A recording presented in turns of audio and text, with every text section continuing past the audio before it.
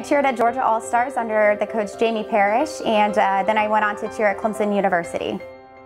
I think teamwork is extremely important, not only in the All-Star competitive world, but teamwork also as you go on in life. And so All-Star cheerleading starts those foundations um, for teamwork that go on to build as you get older.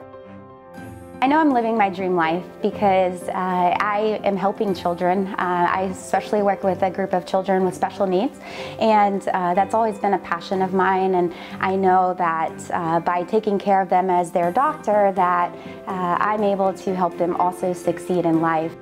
I am currently a pediatric neurology resident at Baylor College of Medicine and Texas Children's Hospital in Houston, Texas.